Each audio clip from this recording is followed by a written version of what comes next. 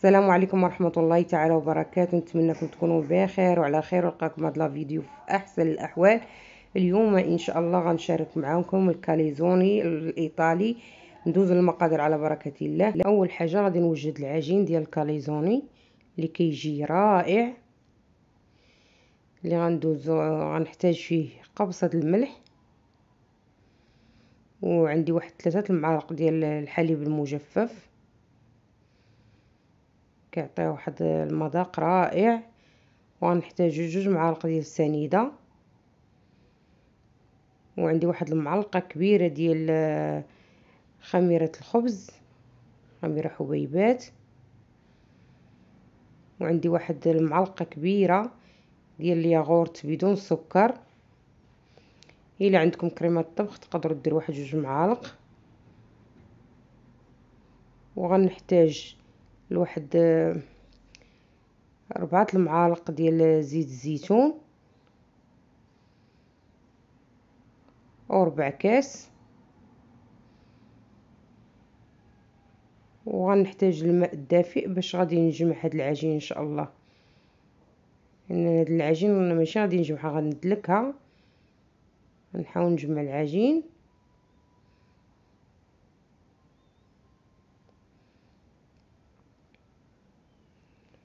نبقى نزيد في الماء شوية بشويه وأنا كندلك فيها لأن العجين خاصها تكون إلا عندكم العجانة يمكن ديروها في العجانة من الأحسن باش تدلك لينا مزيان. أنا غندلكها إن شاء الله. ونتلاقاو باش تشوفوا كيف كتجي. وهي العجين ديالي بعد ما دلكتها لمدة واحد عشرة دقائق كتجي رائعة. غادي نجيب واحد البلاستيك غذائي وغادي نغطيها وغنخليها حتى تخمر ونتلاقاو باش نديرو دابا الحشوة إن شاء الله. بالنسبة للحشوة غندير واحد المعلقة كبيرة ديال الزيت وغندير واحد المعلقة ديال الزبدة. وعندي قطع ديال الدجاج من صدر الدجاج.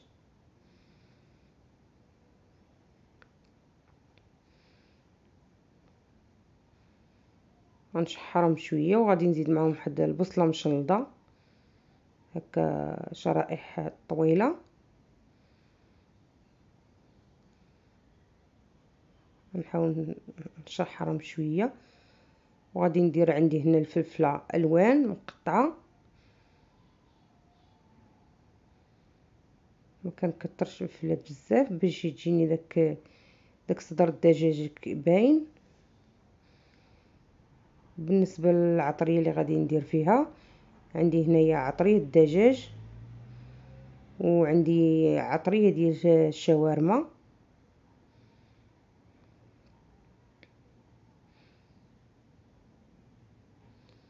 وغادي ندير واحد شوية ديال الملح.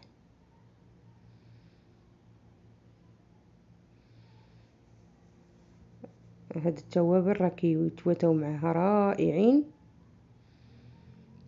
وغندير شوية ديال الإبزار أو الفلفل الأسود. وغادي ندير شامبينيون نتوما كيف ما كتلاحظوا. حتى هو كيعطي واحد الطعم رائع. نحاول نحركو شوية بحال هكا. ودابا غادي نجيب داك الياغورت اللي بقى ليا منه الياغورت طبيعي درت منه في العجين وبقات لي واحد جوج معالق. غنديروهم مع الحشوة. إيه كيف ما قلت لكم اللي عندكم كريمة الطبخ أنا ما متوفراش عندي. راني درت على الياغورت الطبيعي إلا عندكم كريمة الطبخ ديروها. غندير واحد شوية ديال الزعتر. حتى الزعتر كيتواتى معها رائع. غادي نشحرهم شوية وغادي نغطي عليهم ونخليهم حتى يطيبوا.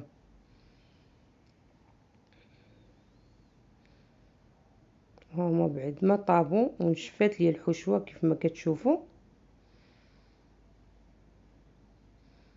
غنخليها تبرد وندوز باش نشكل العجين. ها هي العجين ديالي بعد ما خمرات وضاعف الحجم ديالها. أنا راني ماسحة سطح العمل غنحطها فوق سطح العمل. كيف كتشوفوا العجين كتكون رائعة. غادي نحاول نستعن بواحد شوية دقيق وغندير كويرات على هذا الحجم. غنشكلهم وغادي نغطيهم بواحد المنديل ودوزو باش نطلقوهم إن شاء الله. أنا بعد ما غطيت هذوك الكويرات جبت واحد الكرة بديت كنسرح بها بهذه الطريقة. نحاولوا نسرحوها بشكل طولي نزيد واحد شوية دقيق باش حيت كتلتصق. نحاولوا نسرحوها على على شكل طولي. هكا والسمك ديالها كيف كتجي راه خصها تجي شوية رقيقة. كندير آه، لاصوص طوماط. أنا عندي صوص ديال البيتزا نتوما تقدروا ديروا صوص طوماط ديال الدار. وكندير ديك الحشوة كيف ما كتلاحظوا. وغندير واحد شوية الزيتون أسود مقطع. وعندي الفرماج والموتزاريلا مخلطين غنديرهم من الفوق. نتوما كيف كتشوفوا غتشوفوا الطريقة وغادي نسد عليها بهذه الطريقة.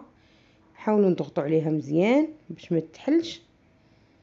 نضغطوا عليها شوية من الفوق. نجيب واحد الفورشيط نثقبها باش نخرج من هذاك الهواء ونديرها في اللاطة اللي عندي اللي غتدخل الفرن. نعاود معكم واحدة أخرى. راه صدقوني راه كتجي بنينة بزاف وكتجي رائعة. وبنفس الطريقة اللي درناها في الأول. نتوما كيف كتلاحظوا ندير ديك الحشوة. هاد الحشوة راه كتجي بنينة تقدر تاكلوا غير هكا. وندير الزيتون كحل حتى هو تيعطيه واحد المذاق ومنظر رائع.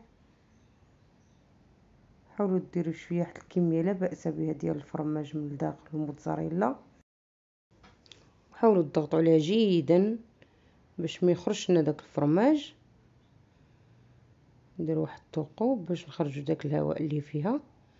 ونبقاو مستمرين حتى نساليو كاع الكمية.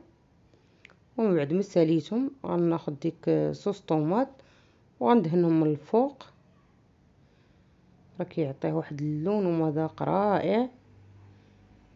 نتوما كيف ما كتلاحظوا وغادي ندير عليها الفرماج حمر والموتزاريلا من الفوق.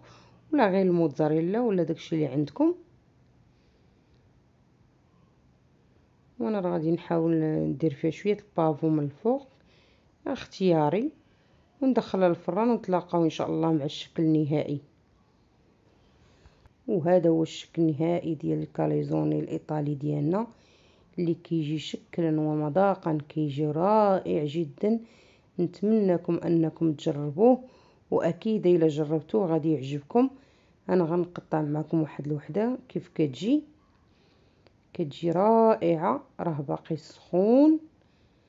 نحاول نحل معكم واحد الوحدة. أنتو كيجي هائل. راه باقي سخون. هذا هو شكله كيف كيجي من الداخل؟ ونتمنى أنه ينال الإعجاب ديالكم وإلى عجبكم ما تبخلوش عليا باللايك والاشتراك والدعم للقناه وبالصحة والراحة إلى فيديو قادم إن شاء الله.